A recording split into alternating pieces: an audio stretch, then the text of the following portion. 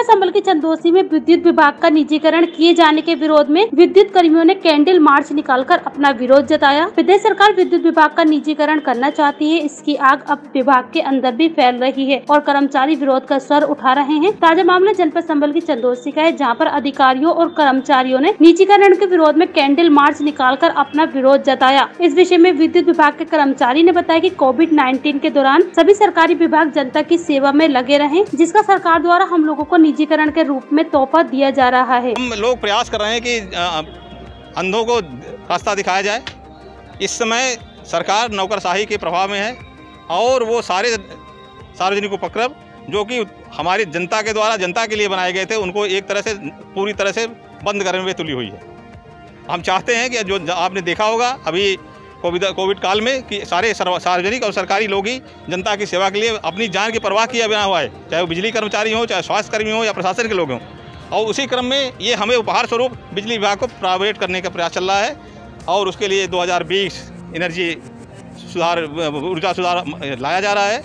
उसके तहत इसके पहले ये केंद्रीय सरकार ला रही है उसके पहले उत्तर प्रदेश सरकार पूर्वांचल कंपनी को पाँच भागों में तोड़ करके छह भागों में प्राइवेट करने पर तुली हुई। क्या मांगे हैं आपकी? हमारी कोई मांग नहीं है। हमारी मांग केवल जनता के हित में है कि जो सरकारी उपक्रम हमारे किसानों के लिए, देश में एक अन्न क्रांति के लिए, श्वेत क्रांति के लिए जिन्होंने इतना संघर्ष किया है, अपने खून पसीने, परिवार की चिंता किए बिना, उन किसानों किसानों को और मजदूरों को बिजली मिले, सबको बिजली मिले। कहीं ऐसा ना हो कि बिजली कुछ, जैसे कि पहले हुआ करती थी, कुछ रईस लोगों की ऐस की सामग्री बन जाए और हम जन सामान से बाहर हो जाए। मामला पूरा हमारे जो पूर्वांचल एक डिस्कॉम है उसको प्राइवेट करने के लिए है, जिसको किया जा रहा है सरकार के द्वारा, जैसे हमारे एस साहब ने बताया है अभी भी, कि इसको प्राइवेट किया जाएगा। और जो कि सरकारी उपक्रम जो भी बनाए जाते हैं, वो जनता की सेवा के लिए बनाए जाते हैं। और कोविड काल की जो आपने दशा देखी है, उसमें जितने भी सरकारी डिपार्टमेंट थे, वो ही जनता की सेवा में तत्पर रहे हैं। और उसके बावजूद हमें ये सब एक उपहार अवार्ड जो है, ये दिया गया है अभी।